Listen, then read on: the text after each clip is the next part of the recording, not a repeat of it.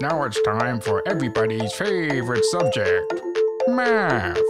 Answer the questions correctly, and you might get something special. Problem one. Three. Problem two.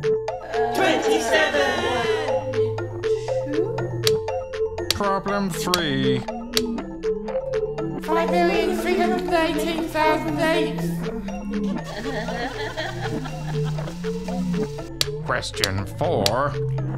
Twenty-five billion one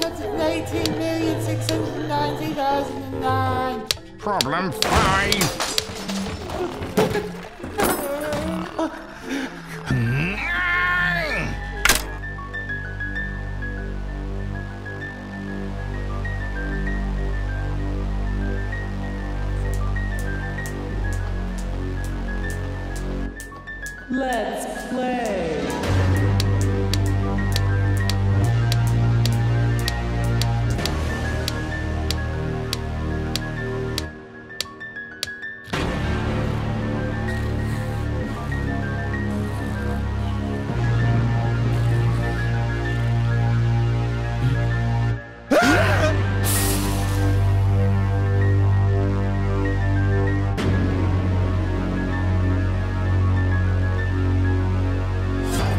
One, two, Baldi's coming for you.